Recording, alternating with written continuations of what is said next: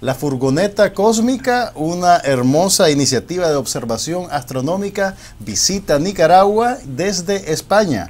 Y para conversar sobre este viaje se encuentra con nosotros eh, Mayrin McEwen de Casa España en Nicaragua, Víctor Moreno, doctor en astrofísica, y Nadia Velilla, licenciada en Bellas Artes. Muchas gracias por acompañarnos. Eh, Víctor y Nadia, ustedes son los que conducen la, la furgoneta y Mayrin es, digamos, la anfitriona oficial aquí en Nicaragua. Primero que nada, Víctor, ¿cómo nació la idea de este proyecto? ¿Qué es lo que es la furgoneta cósmica?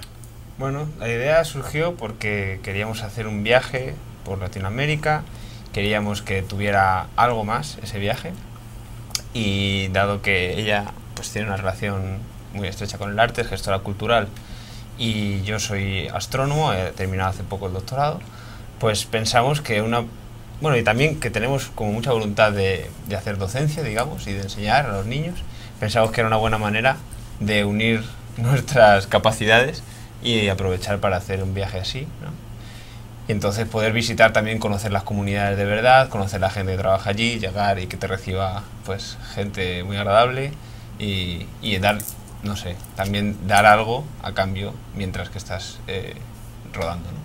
Eh, Nadia, uno no pensaría naturalmente que el arte va conectada con la ciencia. ¿Cómo nació esa inquietud en vos?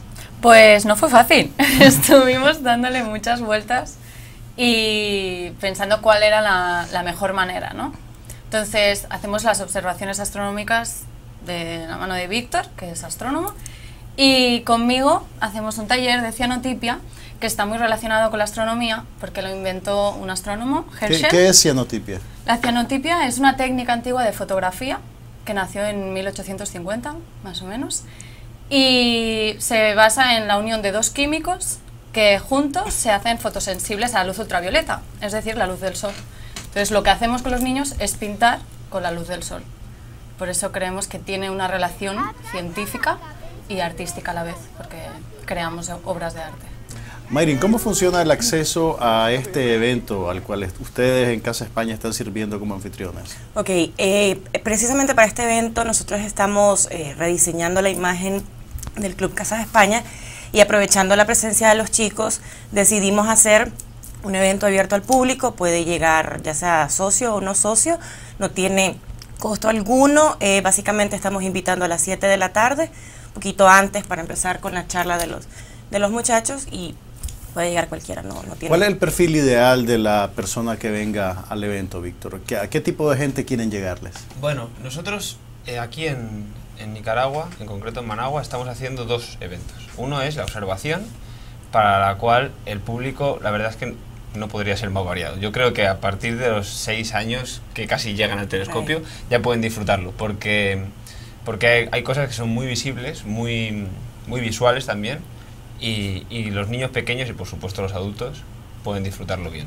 Especialmente también los adultos disfrutarán de la charla que hay, va a haber previa, será como media hora, simplemente para introducir un poco qué se va a observar, poner en contexto, que lo entiendas cuando lo veas.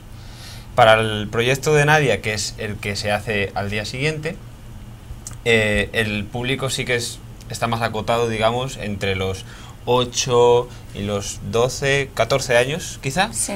porque es un, algo más, eh, más manual y más, eh, no sé, sí, con más manualidades. Para la sesión de cianotipia que tendrá lugar mañana sábado, ¿tienen que llevar algún material particular, Nadia? Mm. ¿Qué, ¿Qué, debe hacer la gente que quiere ir? Pues, en no, bueno, en principio yo creo que no tienen que llevar nada. No sé, si me estoy equivocando ahora, eso lo, tiene, lo sabe Kenia. lo siento. No, no, tranquila. ¿Y la entrada es completamente libre a cualquiera de las actividades? Así es, es completamente gratuito. ¿Qué tipo de equipos tiene la furgoneta, Víctor? ¿Con, con, con, qué, ¿Con qué telescopio viajas? Pues eh, un telescopio es una pieza bastante cara y no, yo no tengo ningún telescopio, aunque llevo 10 años haciendo astronomía. Así que lo que hicimos fue pedirle a una fundación de Barcelona, que se llama Fundación Cataluña La Pedrera, eh, que nos prestara uno de sus telescopios, que tiene unos pocos. Entonces nos han prestado un telescopio de 10 pulgadas de ancho. Eh, el tipo de telescopio se conoce como Smith Cassegrain, que son detalles técnicos que sin importancia.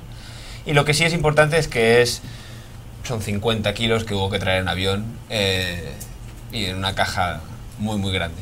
Esto ha requerido un esfuerzo logístico importante de parte de ustedes, que básicamente han puesto en, en, han congelado sus vidas profesional en España para encarrilarse en esta aventura. ¿Cuánto tiempo va a tomar la gira de la camioneta y hacia dónde van? Pues, en principio eh, la gira será aproximadamente de un año, algo menos. Eh, así es como la planeamos originalmente. Lo que pasa es que yo creo que los viajes tienen más sentido cuando los haces sin una fecha de final y sobre todo sin, sin grandes eh, deadlines, ¿no? Entonces nos gusta pensar que si la, la, el proyecto funciona, seguiremos haciéndolo.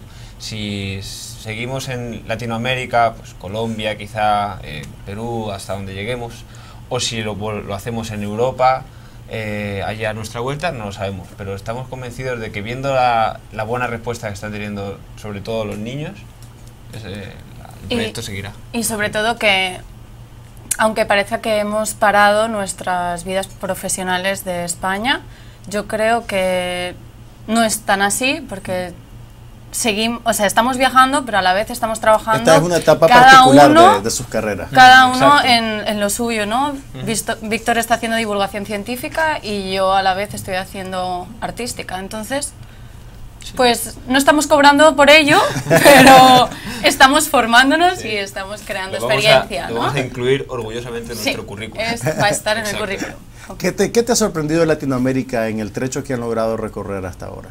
¿Qué me ha sorprendido? Bueno, yo es que estoy enamorada de, de México, yo ya estuve trabajando un tiempo en, en, México, entonces volver a sentirme, bueno, volver allá y volver a reencontrarme con los sentimientos que viví ya una vez, eso para mí ha sido lo, lo más bonito y sobre todo conocer nuevos países, ¿no? porque sí que era reencontrarme con México, que ya había estado, pero ha sido conocer Guatemala, conocer El Salvador, Honduras y ahora Nicaragua, que estamos encantados.